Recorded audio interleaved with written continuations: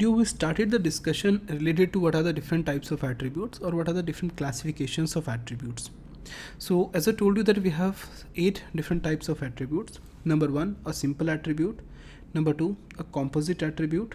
Number three a single valued attribute. Number four a multi-valued attribute. Number five a derived attribute. Number six uh, is you know number six okay number five is stored attribute number six is derived attribute number seven is complex attribute number eight is key attribute. Now you can add few more different types of attributes in this like we we can have something called as descriptive attribute descriptive attributes descriptive attributes. You don't require all of them but uh, uh, most of them we require.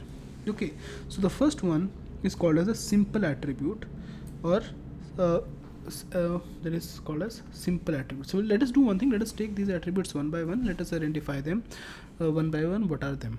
Okay so the first one is called as simple attributes. Simple attributes. So what are the simple attributes? Is if you have now these are the attributes you can say uh, which cannot be derived further. They are called as simple attributes. These are the attributes which cannot be cannot be derived further derived further are called as the simple attributes. Okay. So these attributes for example we have something called as um, let us say we have for a person we have the first name. We have the first name. Now this first name is a simple attribute. If i take for a person the last name now this last name is also a simple attribute. But if I take something called as name the name can be divided into first name and the last name. Therefore name is not a simple attribute. The second one is the composite attribute. The composite attribute. The composite attribute. So what is a composite attribute? Is that these are the attributes which can be derived further which can be derived further. Derived further are called as the composite attributes. Okay. Now for example if i say we have a name we have an attribute called as a name. Okay. Now this name attribute can be further divided into three types. Like we have the first name of a person we can have the middle name of a person and we can have the last name of a person. Last name of a person. Now here in this case when i'm saying name now name is a composite attribute but the first name is a simple attribute the middle name is a simple attribute and the last name is also a simple attribute because these attributes cannot be divided or derived any further. Okay. Now the next type of attribute is called as the single valued attribute. Is called as the single valued attribute. Single valued attribute. And we have something called as multi-valued attributes also. We have single valued attributes as well as we have multi-valued attributes. So single valued attributes are the attributes which takes which takes one value per entity. One value per entity per entity. Okay they are called a single valued attribute. For example uh, there's something called as gender right?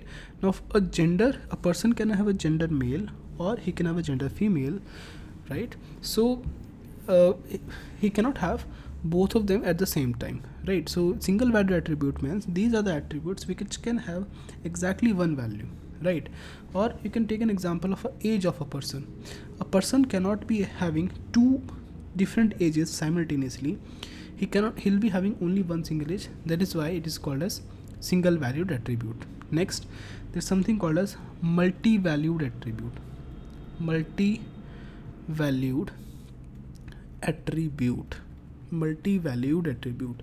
Multi-valued attribute means these are the attributes which can take multiple values okay as you can say these are the attributes which can take which can take more than one value more than one value per per entity per entity. They are called as multi-valued attribute. Now for example for example we have something called as a phone number now person can have more than one different phone numbers.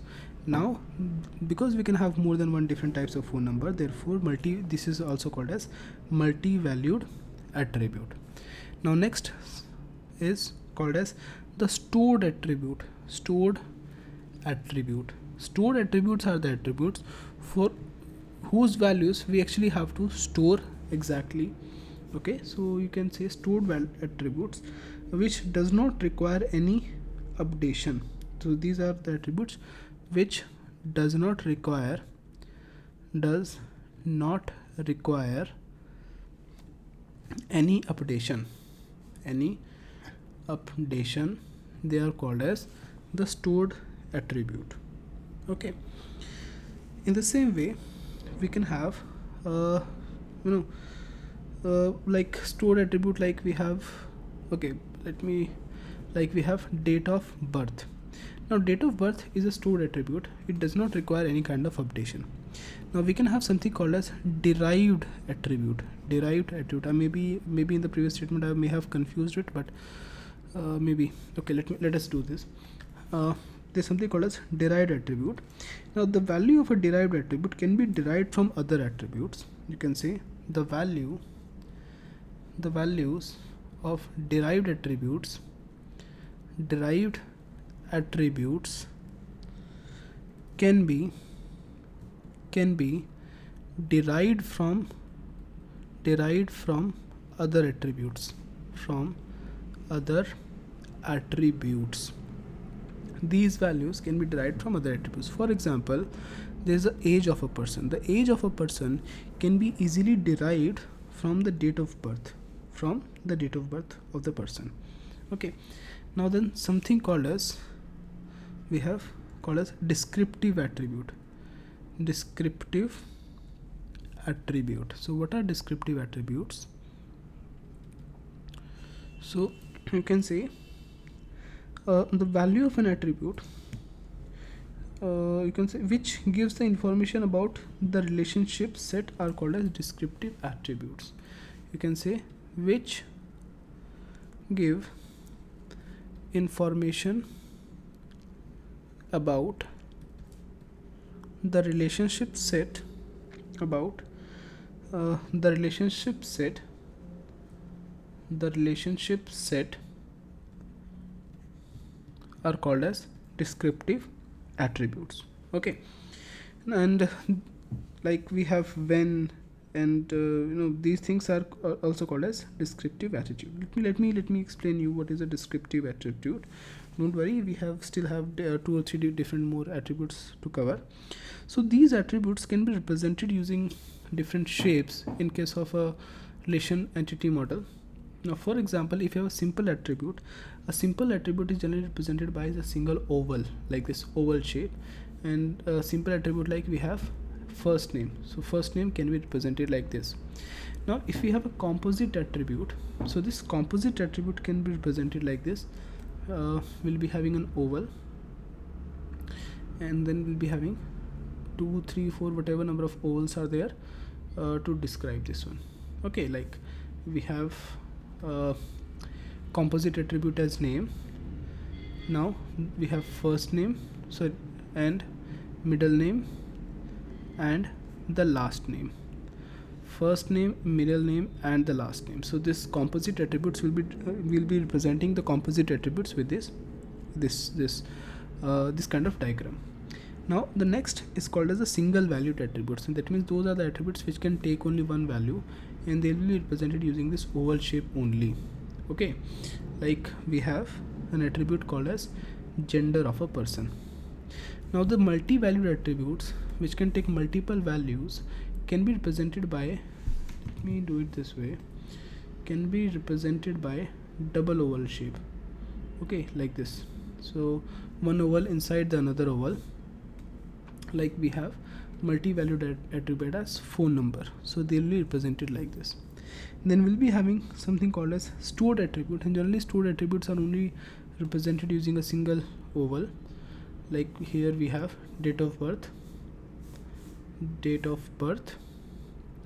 In the same way the derived attributes here they are generally represented by uh, you know like dotted lines over like oval with these kind of dotted lines right? So this is derived attribute like we have derived attribute as age okay? And these descriptive attributes are generally represented by a given structure okay? Like we have uh, okay i'll be telling you what are the descriptive attributes at the later point of time because right now we don't require them. Okay?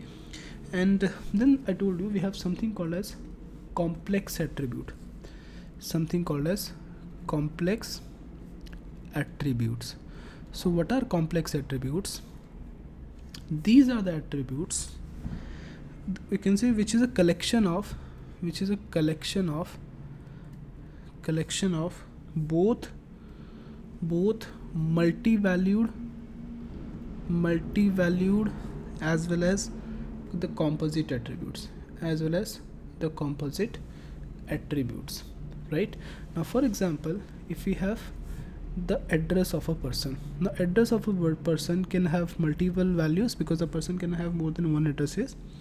At the same time uh, this can be composite because the address can be further divided into home number house number street number uh, state district country etc so therefore it is a composite attributes right? So uh, complex attributes are the attributes which are both multi-valued as well as the composite. So those kind of attributes are called as complex attributes okay. In the same way derived attributes like we have age age can be derived from the date of birth of a person.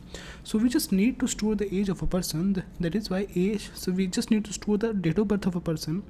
That is why date of birth is a stored attribute but age is a derived attribute because we can derive age just by using just by using the stored attribute. And the last one is called as the key attribute.